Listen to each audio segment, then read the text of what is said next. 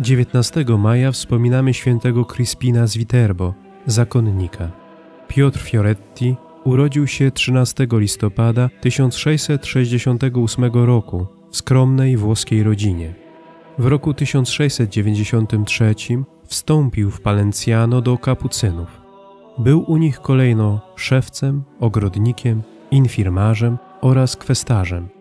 Najdłużej, bo w latach 1702 do 1748 w Orvieto. Przy tym wszystkim był zawsze pogodny. Promieniował czułym nabożeństwem do Matki Najświętszej, które nacechowane było pewną poetycznością. Słynął ponadto z niezwykłych łask oraz z mądrych rad, po które przychodziło do niego wielu. Świadectwem tej działalności są jego listy. Zmarł w opinii świętości 19 maja 1750 roku w Rzymie. Beatyfikował go w roku 1806 papież Pius VII, kanonizował zaś w roku 1982 święty Jan Paweł II. Módlmy się. Boże, Ty doprowadziłeś do szczytów ewangelicznej doskonałości Twojego sługę Kryspina, który naśladował Cię na drodze radości.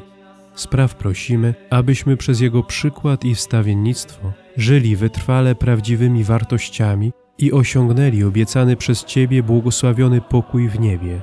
Przez naszego Pana Jezusa Chrystusa, Twojego Syna, który z Tobą żyje i króluje w jedności Ducha Świętego, Bóg przez wszystkie wieki wieków.